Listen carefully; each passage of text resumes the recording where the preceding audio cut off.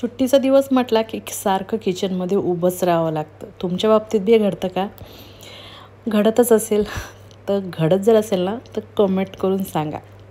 तर माझ्या बाबतीत ते असंच झालं. आज मुलांना मुलं खा मुलांना खायचं होतं पिझ्झा तर म्हटलं कडे पिझ्झा तर नाही खाऊ घालू शकत.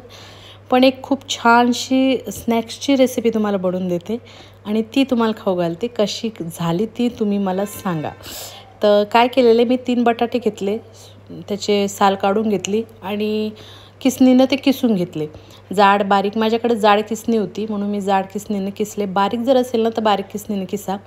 चांगलं त्यातलं पाणी निथरून काढा. थोडंसं मीठ घालायचं आहे हाताने दाबून दाबून पाणी काढायचं आहे आणि त्याच्यानंतर एखाद्या कपड्यामध्ये घेऊन ते पाणी आपल्याला पूर्णपणे काढून घ्यायचे आणि किस जो आहे ना तो चांगला मोकळा करून घ्यायचा आहे ते झालं की कॉर्नफ्लॉवर घ्यायचे आपल्याला. एक तीन ते चार चमचे मी त्यामध्ये कॉर्नफ्लॉवर घातलेले आहे.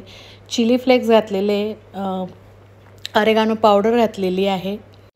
अर्धा टीस्पून काळी मिरीची पावडर घातलेली मी. चवीपुरता मीठ घातलेलं आहे. आपण अगोदरही मीठ घातलेलं होतं पण ते सगळं पाण्याने वाहून गेलेलं आहे.